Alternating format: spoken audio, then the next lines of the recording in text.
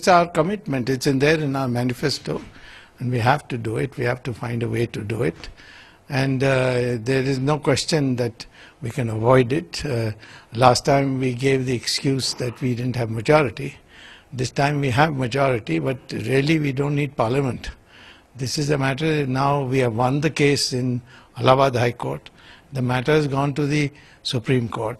Furthermore, uh, what was uh, uh, promised by the government in uh, uh, promised by the government in, uh, in in the Supreme Court in 1994 was that if it is shown that there was a temple uh, existing before the uh, and uh, before it was demolished and a masjid built, then they would hand over that land to the Hindus. This is a commitment of the Narasimha Rao government in by way of an affidavit to the constitutional bench of the Supreme Court.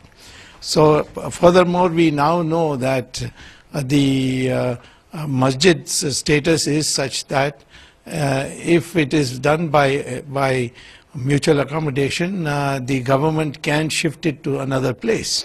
So now there is no masjid, but still we should help the Muslim community to build a masjid, but across the Saryu river and build the Ram temple in that place. So, So, but I- at this moment, question rises is, is this required at this moment and why the BJP is playing the game at this moment of building the Ram temple when the election coming up?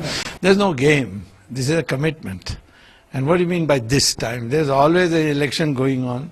And so you can't connect it tomorrow. Do you think that the people, tomorrow there's an election in Madhya Pradesh, do you think that people are there, uh, the Ram Bhaktas are not there? It's a commitment which we must fulfill. And after all, what is it? There was a Ram temple, it was demolished, it has been proved. And Ram is the so, highly regarded that even uh, uh, Iqbal, the poet, said he is Imam Hind. You see, so that is the respect. Uh, uh, the, so I think there are three temples uh, which of which we should start with Ayodhya. The other one is of course Mathura and Kashi Vishwanath.